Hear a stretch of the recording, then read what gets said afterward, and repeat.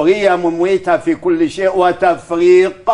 وصل لحد الأبارتايد اللي هو التفريق النوعي. هذا هذا ذكر هذه أنثى هذا أسود هذا أبيض هذا مسيح هذا مسلم. وصلنا لحد الأبارتايد. حذاري حذاري من اللعب في هذا المربع. إنه مدمر للجميع.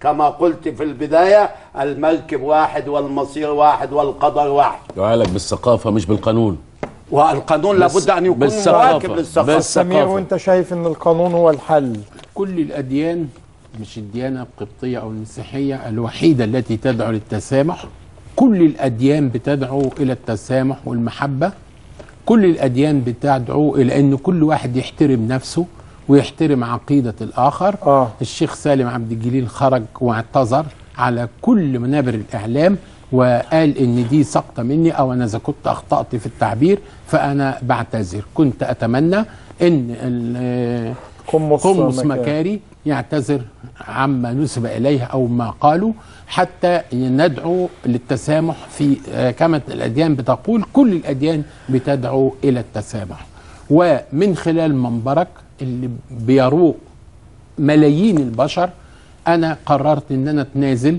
عن البلاغين ضد الاثنين بكرة الصبح. أنا بحييك يا دكتور سمير وأتمنى إن الأخ نجيب يتنازل أيضا عن الجنحة المقامة وغلق هذا الباب نهائيا. لابد. وردعا لكل من تسول له ما نفسه. تتنازل بقى عن محمد عبد الله يلعب بس في هذا. المربع الخطر يبقى هنا يا جماعة يعني أهو أهم ما الحلقة والباقي يا اخويا ده أنت. دول تسع قضايا ما طيب. كفكش الخمسه لسه فاضل إنه ثلاثة. آه،. بلاغات ازدراء الاديان يعني متعددة. سواء ضد الشيخ سالم عبد الجليل أو ضد القمص مكاري يونان آه، يعني ده آه، ينزع فتيل الأزمات.